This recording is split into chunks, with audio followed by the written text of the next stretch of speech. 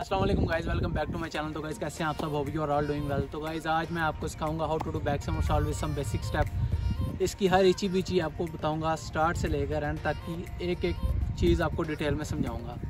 तो चलते हैं गाइज़ वीडियो की तरफ़। तो गाइज़ ये ट्यूटोरियल दो बंदों के लिए होगा। एक जिन्हें आती है उनके लिए होगा और जिन्हें नहीं आती उनके लिए भी होगा। जिन्हें आती है वो इसे कैसे प्रो लेवल तक लेके जा सकते हैं उनके लिए और जिन्हें नहीं आती वो इसे कैसे सीख सकते हैं। विद सम बेसिक स्टेप बिल्कुल हैवी किस्म के स्टेप होंगे, आप उन्हें फॉलो करो और आपको बैकफ्लिप आ जाएगी। आप अटैम्प्ट करोगे बैकफ्लिप खुद अटैम्प्ट करोगे। तो गाइज़ हमारे साथ ये हमारे टोनी भाई हैं, हमारे टीम मेंबर हैं। तो ये आपको बताएँगे, पूरा गाइड करेंगे बैकफ्लिप को कैसे सीखा जा सकता है। चलें टोनी भाई लेट्स गो तो गाइज़ ये हमारे टोनी भाई ये फ़र्स्ट स्टेप बताने जा रहे हैं। फ़र्स्ट स्टेप ये है कि आपको बैक हैंड स्प्रिंग आनी चाहिए। एक बिल्कुल बेसिक बैक हैंड स्प्रिंग चलें टोनी भाई। ये चीज़ ये चीज़। तो गाइज़ बैक एंड स्प्रिंग का ट्यूटोरियल मैं डिस्क्रिप्शन में ऐड कर दूँगा उसमें जाके आप देख लें और जिन्हें बैक एंड स्प्रिंग आती है वो इसे कैसे बैक समर सॉल्ट में कन्वर्ट कर सकते हैं ये टोनी भाई बताने जा रहे हैं। ज़रा सी टोनी भाई ज़रा ऊँची बैक हैंड स्प्रिंग लगाएँ आप। ये सिर्फ़ नाम के हाथ नीचे लगाने हैं फिर इसे और ऊँचा ऊँचा मतलब जंप जितना हाइयर कर सकते हैं उतना करना है। चलें टोनी भाई नेक्स्ट स्टेप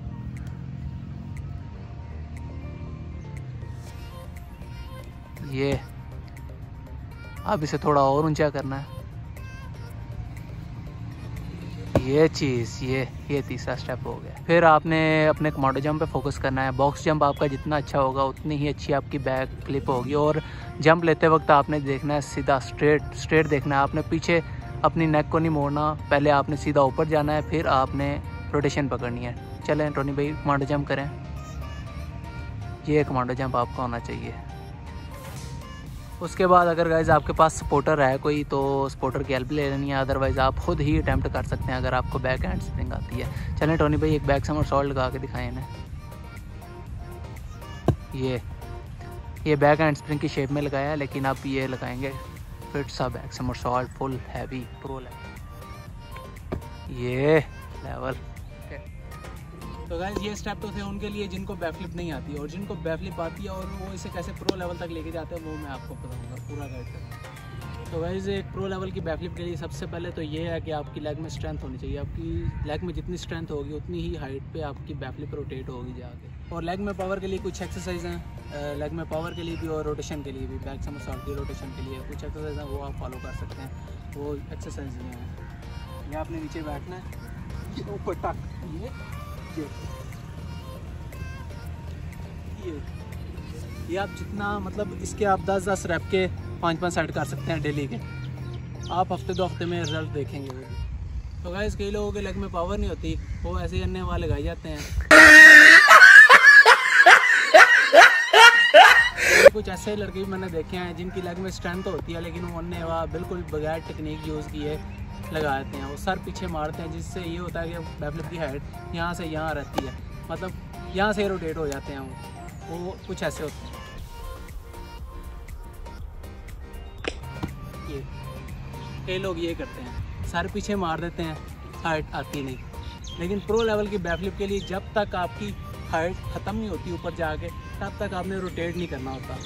मीन्स के ये बॉक्स जंप आपका ध्यान बिल्कुल स्ट्रेट रहना चाहिए, ना कि सारा पीछे मार दें। तो प्रो लेवल की बैकफ्लिप के लिए गाइस सबसे पहले तो आपने ये सोचना है कि आपके पीछे एक वॉल है। इससे ये होगा कि आप जहाँ से बैकफ्लिप उठाएँगे, आप वहीं पे आएँगे लैंडिंग आपकी वहीं पे। और दूसरा ये है गाइस कि जब आप बैक समर शॉट उठाने लगें, तब आपने किसी एक ऑब्जेक्ट पे फोकस कर लेना है। मतलब आपने, आपके आई कॉन्टेंट बिल्कुल उसी ऑब्जेक्ट पे रहने चाहिए। मतलब आपने सर पीछे नहीं मारना। बिल्कुल सामने ऐसे स्ट्रेट फॉरवर्ड देखना है। जब आपको पता चले तब, जब आपकी हाइट इधर ख़त्म होगी आगे, तब आपने रोटेशन पकड़नी है। ये चीज़, ऐसे। मैं आपको एक करके दिखाता हूँ बैठ ये ये आप खड़े हुए हैं ऐसे। ठीक है, आपने सर पीछे नहीं मारना, बिल्कुल सामने देखना ये।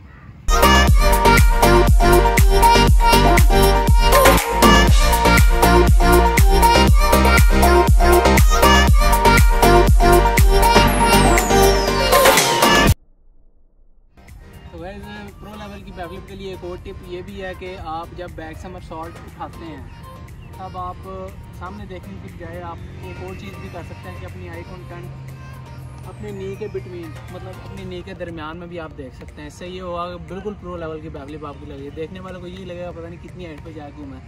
वो कुछ इस तरह होगा।